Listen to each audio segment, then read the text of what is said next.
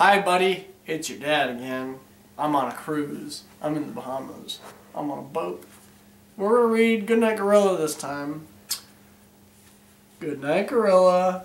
Uh-oh, Isaac. Gorilla's stealing the keys from Zookeeper Joe.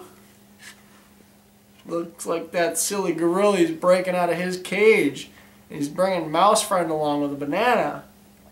He's going to follow Zookeeper Joe as he dances his way through the night rounds.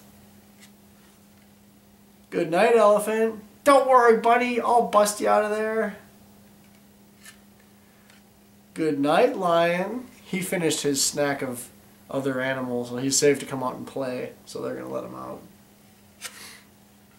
Good night, hyena. Good night, giraffe. Oh, ho. they think they're going to stay in there. That's a stretch and a laugh. Ha ha. Isaac. Oh, this one's fun.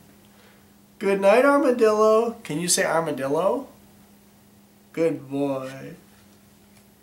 All the animals, armadillo, giraffe, hyena, lion, elephant, gorilla, and the mouse with the banana. They're following Zookeeper Joe to his home. All those crazy animals are sneaking into the house. Shh,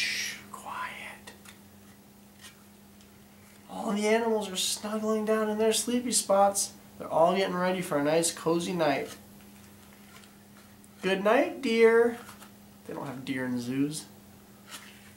Good night, good night, good night, good night, good night, good night, good night. Blink, blink, blink. Hey! What are you animals doing in here? This is so silly. You animals, you come back to the zoo and you sleep in your zoo beds. I'm talking to you, armadillo. I'm talking to you, banana toting mouse, giraffe, hyena, lion, and elephant, especially you, gorilla. I know you had a part to play in this, these shenanigans. Good night, zoo. Uh-oh, who's that silly gorilla following Mama back home?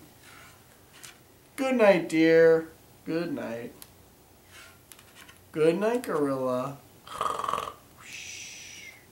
The end.